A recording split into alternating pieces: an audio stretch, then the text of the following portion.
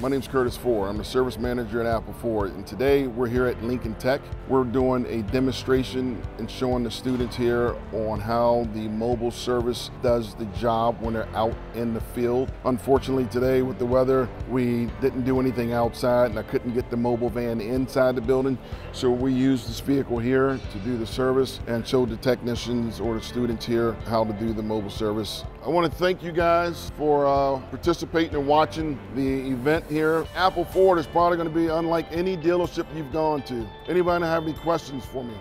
I'm really interested in the next generation of technicians. If you're looking for a career, not just a job, if you're looking for a career, contact me, Curtis Ford, at Apple Ford, 443 539 1269, or you can email me at cford at appleford.com.